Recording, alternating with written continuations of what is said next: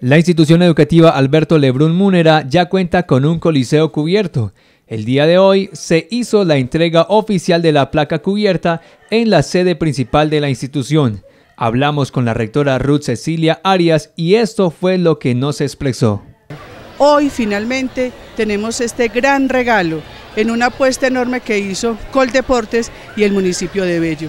Esperamos de todo corazón que nuestra comunidad estudiantil que alberga esta institución y asciende, lo que significa que esta regalo, este regalo maravilloso lo van a disfrutar muchos estudiantes y esperamos de todo corazón que sea para bien y para que procuremos una formación integral cada vez mucho mejor a nuestros chicos. Según la rectora, esta obra es el resultado de varias solicitudes y esfuerzos de rectores y docentes. Hoy el resultado es que ya cuentan con ella. Al evento de entrega asistieron varias entidades y funcionarios de la alcaldía municipal y se logra gestionar unos recursos por parte de la señora senadora Olga Suárez Mira en Coldeportes.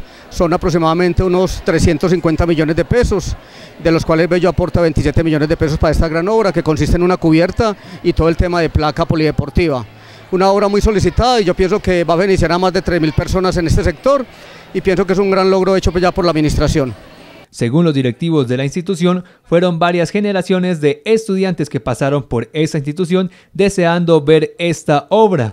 Hoy, egresados y estudiantes que hacen parte de la institución expresan cuánto los beneficia esta construcción. Bueno, esta obra es sin duda una de las obras más importantes que haya podido haber recibido esta institución educativa en los últimos años.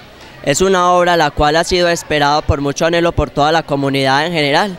Pasaron muchas generaciones esperando que esta obra se viera y hoy por fin se le cumple el sueño a la comunidad educativa del Alberto Lebrun Múnera.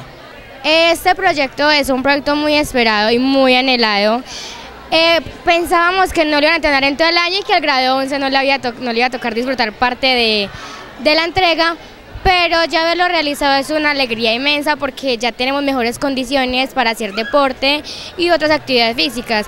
Pues ya que cuando llovía y cuando la placa coliseo no existía, no podíamos hacer deporte, no podíamos hacer ninguna actividad por fuera del salón, entonces la educación física se volvía como más teoría que práctica. Más de mil estudiantes se beneficiarán con esta obra para practicar deporte y también este sitio será donde realizarán sus actos culturales.